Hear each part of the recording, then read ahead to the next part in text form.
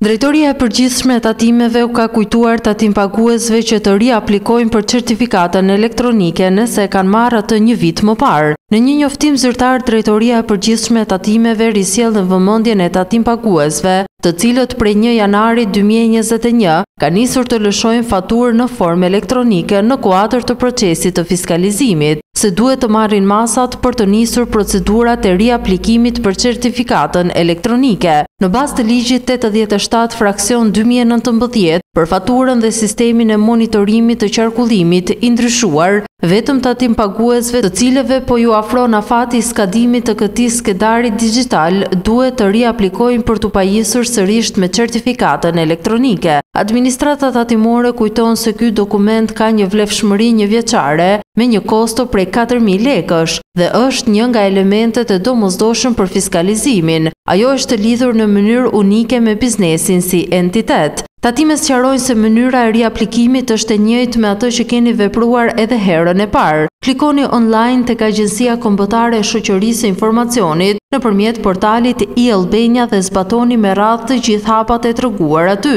Gjithashtu mund të ndiqni edhe video në kanalin zyrtar në YouTube të Drejtorisë së Përgjithshme të Tatimeve në linkun ku shpjegohet në mënyrë të detajuar veprimi që duhet të kryeni.